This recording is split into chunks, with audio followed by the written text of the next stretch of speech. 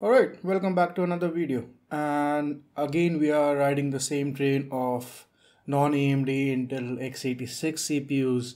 And I see you say there's AMD right, written right there. What's on with that? We'll get to that. So uh, this is a board I found on eBay off of a Wyse S90 or at least something on the X60 line. But I believe it's, it's S90 because of the RAM size and RAM config. So let's take a look at this board and see what the CPU we're dealing with and everything else. Uh, very embedded in nature, um, really old 2003 vintage has, well, vintage, yeah, for me it is.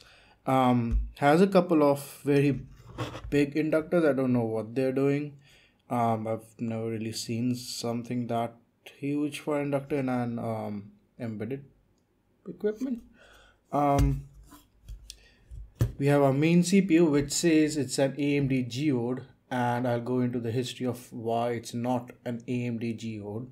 Uh, we have 128 megabytes of SD RAM. It's all soldered in. There's no um, there's no way to change it, upgrade it, or whatever. Uh, we have a LAN port and a couple of USB ports, a serial port, a VGA port, and our barrel jack for power that takes 12 volts.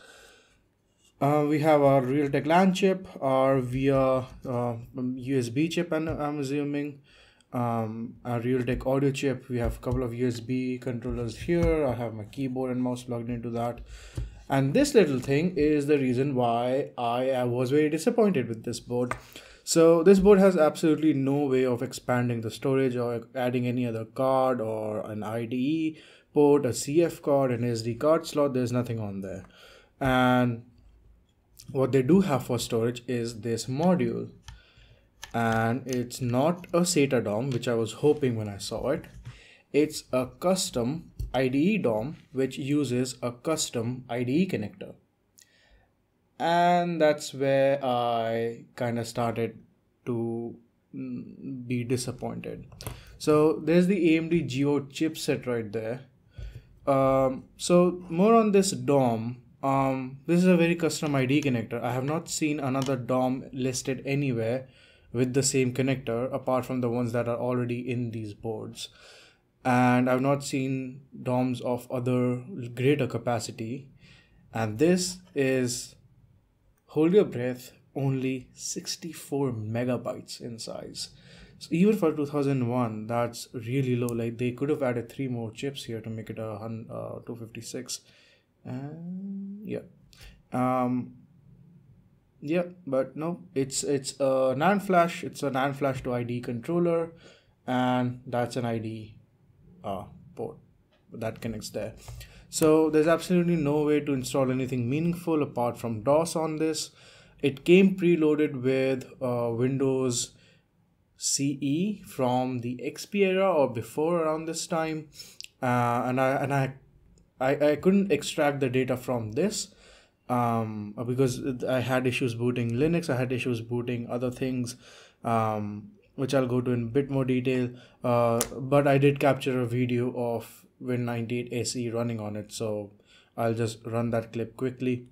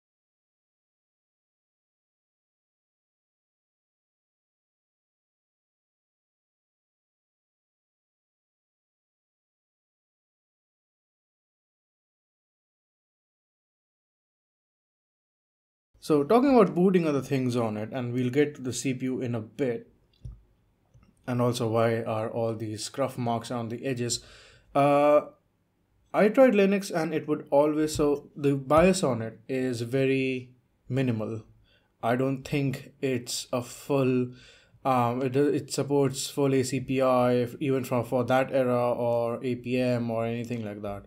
Um, it's a very minimal BIOS uh, and um, the chipset support may might not be there. So I boot Linux, it either hangs on Grub, it either hangs on ISOLINUX. So anything pre-built was difficult i did a few build builds they would even stuck at bootloader so nothing even reached to the kernel i'm sure the kernel itself made to boot would boot on this hardware it's just the bootloaders don't support it for some weird reason i've seen this behavior on other non intel uh, parts or old very old intel parts um, like my vrc3 has similar issues with some grub uh, bootloaders so and then I tried NetBSD that boots, but the RAM is too slow or too less to um, boot into the installer. I'm sure if I had pre-installed media, but I don't have anywhere to connect that media to, and USB boot is not what, like I'm booting through like a DVD drive with disks um, over USB because regular USB does not boot things uh, properly. So um, so NetBSD didn't work. Apparently, OpenBSD did work, um, but like the space wasn't enough to install it. Um, and I couldn't get like OpenBSD to copy or like DD from here to USB drive for whatever reason. Um, and yeah, so it was not a good experience booting non DOS stuff on it. Uh, but anyways, go, getting back to the chip, it does say AMD Geode, and um, the history is it was developed by uh, National Semi in 1999. Uh, this is the Geode um, GX. So AMD Geode GX is actually National Semi GX2, and I think it got rebranded when AMD bought um, the the Geode branch from National Semi, the Geo, Geode business from National Semi in 2003. But what you would notice here, if I shine the right light in the correct way, that it says 2001 um, for the date. So yeah, so this is like maybe the silicon was already produced and just wasn't out on the shelf. So AMD um, decided to rebrand all of the Geode parts that were going out in 2003 um, even though they were diffused in 2001 as AMD Geode. And I think that's what's happened here. It's very similar to the AMD Zynq situation we are seeing right now and the ATI situation that happened before. So yeah, uh, the chipsets, uh, I'm, I'm not sure on the chipset history. Maybe it was just like a pair that always went together. So similar situation um, because the chipset says it's from 2002 apart from that yeah nothing much. It, it works fine when it works for the things it work. Um i am hoping to get another more capable geode system so I, we can load linux and run some things on it uh that way. But what i can show you today apart from that win95 um clip is it actually booting into dos so what i'm going to show you is uh, FreeDOS 1.3 booting from the onboard DOM um, and or I don't remember if I told what DOM means. It means disk on module. Um, and then we can see that working. I have my uh, VGA capture setups here. I don't know if audio comes through. I've never really tested audio on this I know LAN works USB works serial works VGA works and everything else works. It's just it doesn't work on the operating systems you like it to work. Um so yeah let's switch to the capture card. And i'll power it on and let's see what happens. All right here we are on the capture card. I'll plug this in. And the boot process is kind of weird because it needs to like do some pre-boot stuff and i'll can hear the beep and there we go so now there's a problem JEMMEX does not boot. It has never booted for me. Um, so for some reason, I uh, just wanted to show you that. So if I turn that off, wait for the yellow light to go away it has a yellow light there beep and now we will move down and load without uh, load in safe mode without um, that thing. Um, so here we are. I don't know why it's not like doing the um, VGA sync correctly but that's VGA capture for you. Um, so if you go into CPU start uh, you can see here that it says geode by NSC and that's National Semi. And somewhere down here it says geode integrated processor by National Semi. So nowhere in the CPU stat or um, in, in, in like the CPU ID stuff does it ever say that it's made by AMD it's just like the silk, it's silk screen by AMD because they bought the tech. Um, so there were AMD geodes that weren't the design that was made by National Semi, which was based on an older Cyrix CPU design. Um, but this is not it. Those are, I think, the Athlon parts uh, that came out later. Uh, I think both GX and LX were, as far as I remember, based on the National Semi core, maybe modified a little bit. Uh, I, there's not much to uh, demo. I can do a memstart thing. Does the same thing. Shows you 128 megabytes free. Um, I think, and yep, available 111 megabytes. I don't know what the reserved and total are. Uh, and then let's move on to I, I guess it's Doom, so it's it's DOS, so let's play Doom. I don't have the proper Doom installed on this one, so I have the Boom that comes with um, the FreeDOS installation.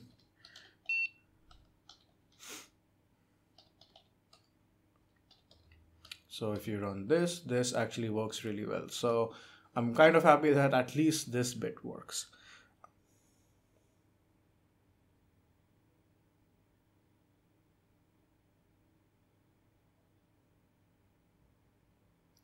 There you go. So like one of the issues is I, I can't because there's no native IDE port on it or the one that I can access or um, anything else. I can't really have like an, a FreeDOS installation media. I can install stuff from the FreeDOS library onto this board.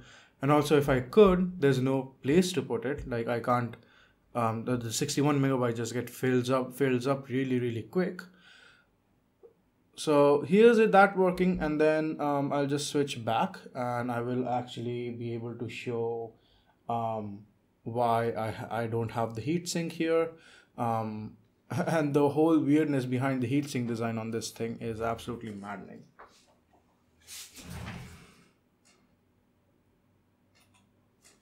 Alright, we are back to this thing and it's running. Like it's it's running that doom demo. And see it's greenlit here um, everything's in working condition. So if i touch the cpu it's not hot. It never is hot. It's a 1 watt cpu the whole thing just draws 5 watts in total from the bench power supply. The cpu uh, if i remember correctly it's a 333 megahertz one so it only draws around a watt or two at max. Uh, the i think the package uh, draw maybe for the course is 0.9 watts or something along those lines from wikipedia. But yeah it's it's like warm to the touch but it's not hot. Um, i've touched hotter cpus that weren't heat sinked so here's the heatsink it came with. It blocked right on top like that and it was glued hard. It was a very resinish but still with like fibrous resin material and i couldn't get it off. And the thing was, when this was on the CPU, it the, the heat sink would get really really hot. So it was reaching higher temperatures when um, the heat sink was installed. And the reason is, um, and I'll put this image right here, is the thermal interface material was absolutely crap. If you notice, like that that thing, that thick gluish resinish fibrous thing is around 2 mm or 1, 1 to 2 mm in thickness. So I'm assuming that instead of heat transfer, it was actually uh, doing a lot of heat soaking and just sitting there without properly transferring it onto the heatsink. So it was it would actually get much hotter than it would have gotten if it was just the CPU itself exposed to the air, uh, just the package itself. Now, because it was that difficult, um, it was on here something like that, and I had to start and try and pry it open, and that's why you see all these uh, marks around the edges. And they are from the my screwdriver or any other thing because it's a very soft metal even if I, you, I was using plastic or something like that it would um, kind of bend the metal. It's a very very light aluminum um, and yeah so it took me around one and a half hours of patiently uh, spraying isopropyl alcohol and just slightly prying and prying and prying and prying uh, to get it off. It was very painful, but it was worth it. I could show you guys the CPU that's in there, um, show you guys the packaging, and yeah, I think it was worth it. So that's it. Um, I'm hoping the um, other, so I'm trying to do this series of non Intel AMD x86 CPUs. I've found a few on eBay, uh, and I think it makes good content. So uh, do subscribe i have more on the way i have another geode one that has uh, a lot more um, uh, connectivity to it including ide um, cf cards and uh, other things uh, so yeah uh, let me know in the comments how you if you've ever used geode before because i know a lot of folks use them for pc engine stuff. Um, and i will see you all in the next one. Thank you so much for watching. Bye